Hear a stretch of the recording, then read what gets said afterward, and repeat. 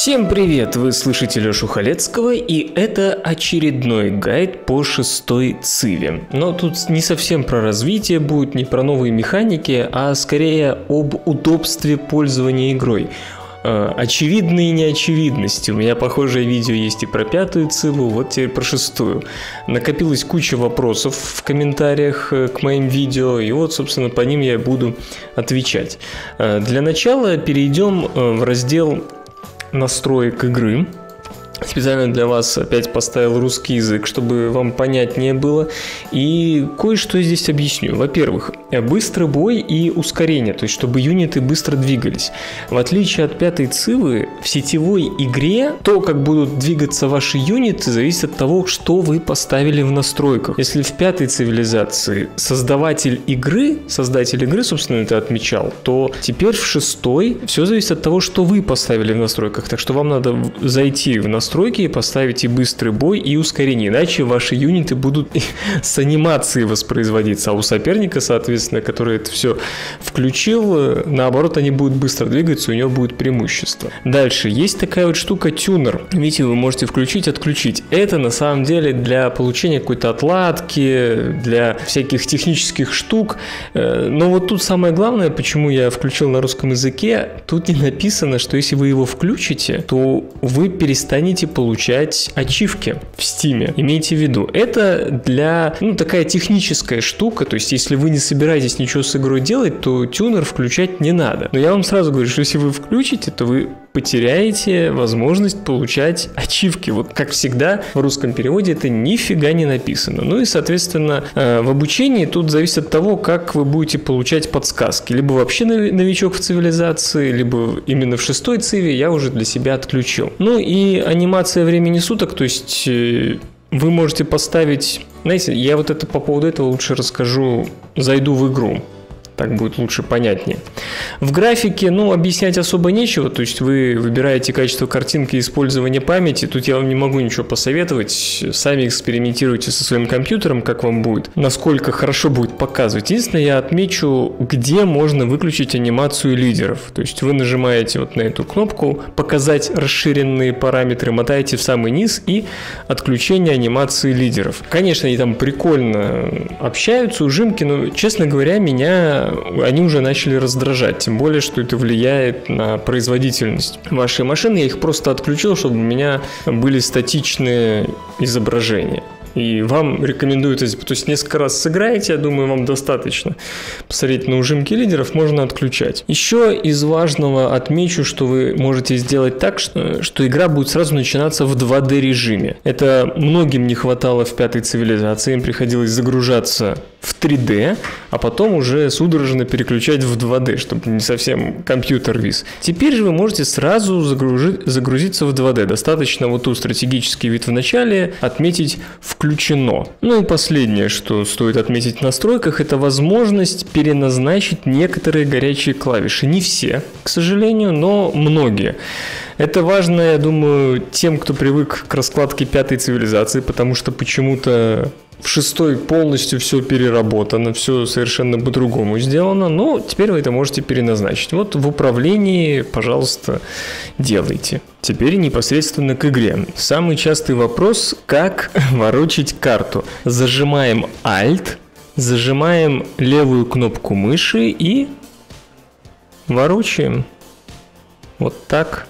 То есть зажав Alt и зажав левую кнопку мыши. Когда вы отпускаете кнопку мыши или Alt, то карта возвращается на то место, на изначальное место. Я считаю это правильно, потому что Вообще в пошаговых стратегиях, по-моему, карту очень редко надо ворочить, но вдруг вы тут что-то не можете рассмотреть. Правильно, что это ввели, и правильно, что возвращается обратно. Это здорово. Второй вопрос, естественно, как и в пятой циве, как включить, чтобы были видны иконки ресурсов, э, клеточки и иконки там с едой, с производством и прочим. Вот выше мини-карты, видите, есть четыре разные кнопочки.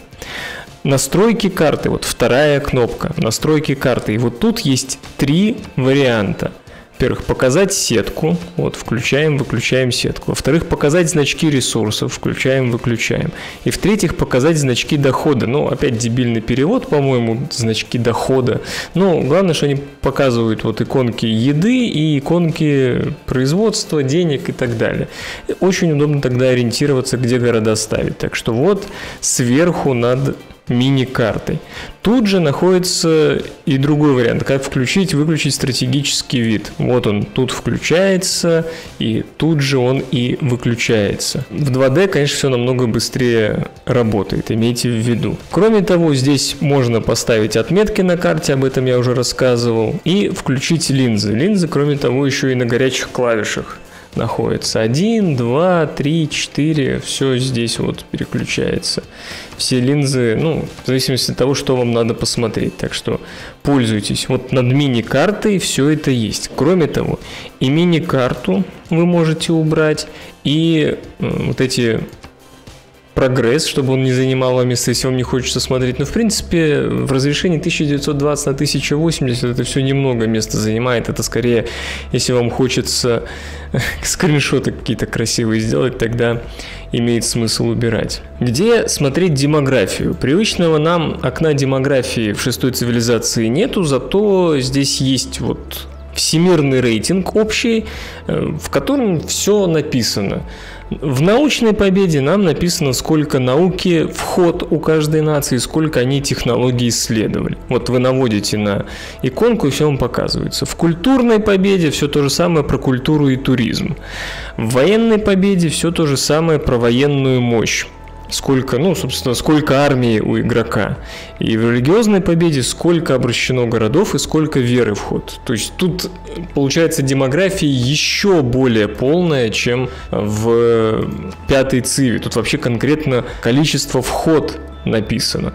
Кроме того, не забывайте, что в дереве технологий вот такими иконками снизу показано, где кто находится в этом дереве технологий. То есть от стеки, видите, уже вот какую-то из этих технологий изучили. Э, англичане и французы какую-то вот из этих технологий, то есть находятся тут. Ну и, соответственно, так, также остальные. Единственное, конечно, тут непонятно конкретно какую из технологий. То есть как только вот ацтек выучивает хоть одну технологию из этого столбика, значит, он сразу его иконку сюда перемещается. Но это совершенно не значит, что у него тут офигенно много науки. Просто он так вот далеко продвинулся именно в дереве технологий. При этом у него может, например, нижние ветки вообще быть полностью неизученными. Так что надо сравнивать сразу и здесь, и в дереве технологий, где находится, и, соответственно, в дереве цивиков тоже нам показывается, да, э, в соответствии с тем, сколько у них реально технологий и цивиков. Вы можете, например, сказать, что они очень далеко впереди, но при этом у них технологии мало изучены. Ага, значит, они только вот э, по верхней ветке, например, пошли, и можно на них нападать, у них не так много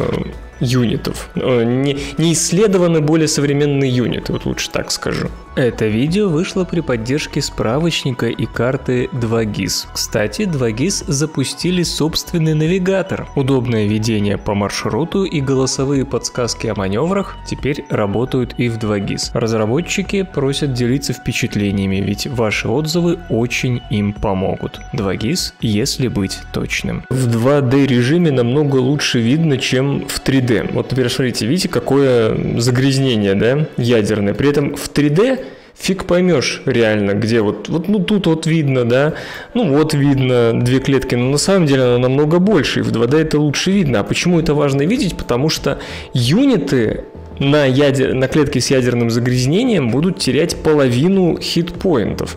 И очень важно, что они попадают, тем более, что еще и очки действия пропадают, если идти по загрязненным местам. Это очень важно видеть. Кроме того, в 2D лучше видны холмы. Вот холм, смотрите, как э, хорошо видно в 2D. Переключаем в 3D. Вот этот холм, э, то есть если внимательно только приглядываться, зная, что тут холм, уже понятно. То есть очень многие вещи в 2D просто лучше видны. Рекомендую почаще в него переключаться, чтобы не упустить что-нибудь важное. Еще одно вранье находится в разделе торговых путей. Вот здесь, если вы наведете, написано количество ходов до завершения пути. Каждому может показаться, что это вот сколько сейчас осталось ходов. На самом деле нет, это просто сколько ходов действует этот торговый путь. То есть, когда вы его запустили, он 18 ходов будет действовать и через 18 ходов закончится, а не сейчас прямо. То есть, вы можете, я могу заканчивать ходы, вот эта цифра не будет уменьшаться никак. Так что вы просто смотрите на начальные э, показания, когда вам будет написано, сколько ходов действует торговый путь, и, собственно, тут оно и будет написано. Вот эта цифра это от начала и до конца. Вы можете меня, конечно, спросить, что почему Firaxis не сделала уменьшающиеся тут цифры, я без понятия. Тоже, конечно, намного проще было бы играть. Много вопросов по поводу посланников в города-государства. Нет, их никак нельзя отсюда выковырить обратно. Если город-государство кто-нибудь захватит, то, например, Иерусалим, то эти 14 посланников мои просто пропадут. Они, к сожалению, не возвращаются никак. Э, да, хотел сказать про анимацию времени суток. Во-первых, вы можете поставить единовременно, чтобы не меня. Мне, например, не нравится, что время суток меняется. Я просто где-то вот на час примерно ставлю, чтобы поярче было. Либо вы можете включить анимацию времени суток. У вас примерно там сколько-то ходов постепенно будет меняться освещение. Там и ночь у вас будет, и день. То есть не, не заход, а там сколько-то ходов будет. День длится, сколько-то э, сумерки, сколько-то вечер и так далее. Если вам так нравится, то, пожалуйста, развлекайтесь.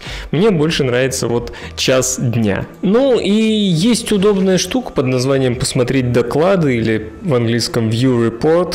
Тут кое-что собрано вместе, но не все, к сожалению, не все. Э, так, например, вот таблица городов, видите, сколько населения, жилья, настроение. Вот если счастье, то плюс э, плюс 5%, по-моему, если экстаз, то плюс 10, сейчас я, кстати, гляну, уточню, уточнить хочу. Вот у нас э, в раке Дете, вот так вы можете открыть и посмотреть, что здесь у нас экстаз. Экстаз дает к ко всему плюс 10%. Значит, при экстазе плюс 10, при счастье просто плюс 5 будет. В каком у нас городе счастье, если глянуть? Ну, например, в Багдаде.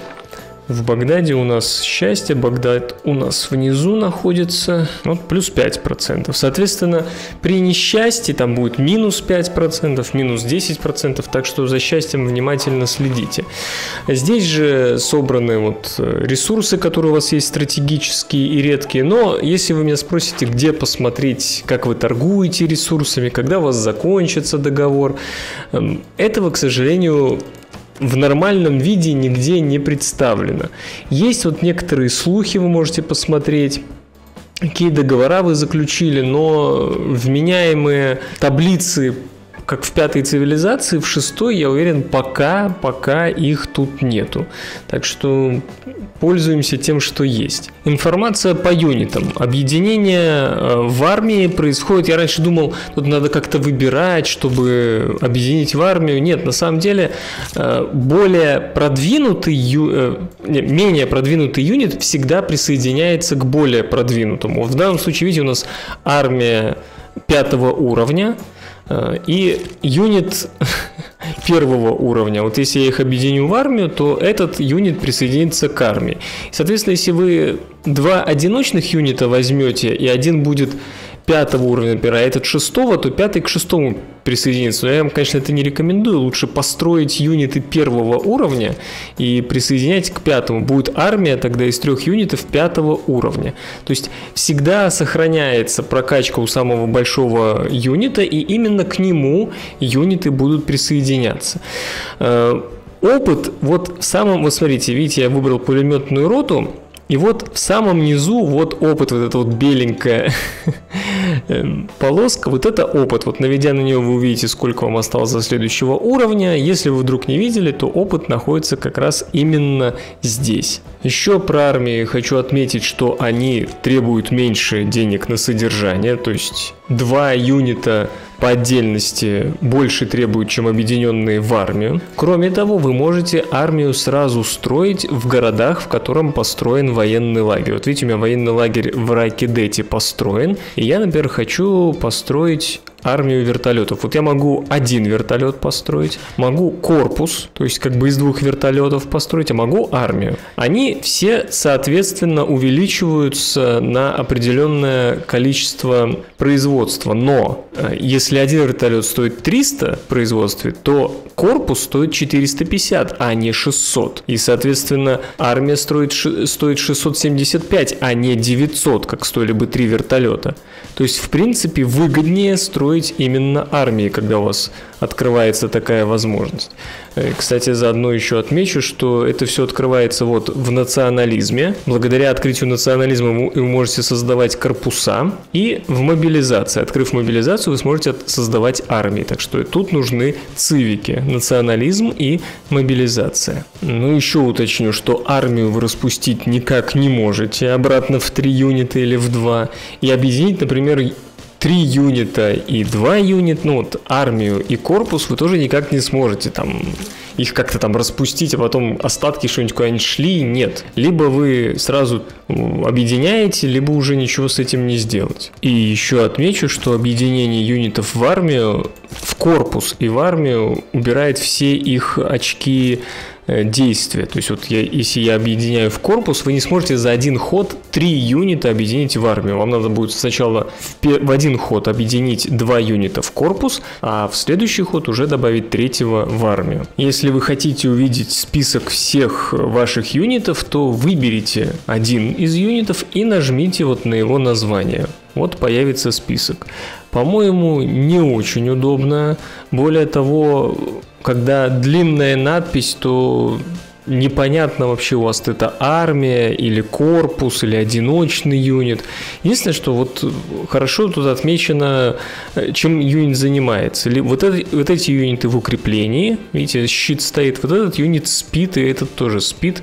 Э, то есть такой полумесяц, типа ночник в ночи. Вот мне еще торговец почему-то спит, кстати, надо отправить. Ну, на этом все. Кажется, такие мелкие особенности, которых важно знать, но на которые почему-то многие люди не обращают внимания, я вам рассказал. Уточнение, пояснение, Пишите, пожалуйста, в комментариях. Я думаю, и мне будет полезно, и другим игрокам тоже. Но вообще, я думаю, э, кое-что из этого будет э, поправлено ближайшим патчем, который уже, наверное, в ближайшую неделю должен появиться.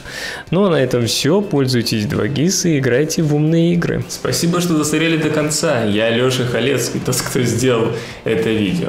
У меня к вам несколько просьб. Во-первых, не забудьте поставить лайк, а во-вторых, поделиться этим видео. Раз уж вы смотрели до конца, видимо, оно вам понравилось. Я вам буду благодарен, и это поможет э, распространению моего творчества для более широких масс.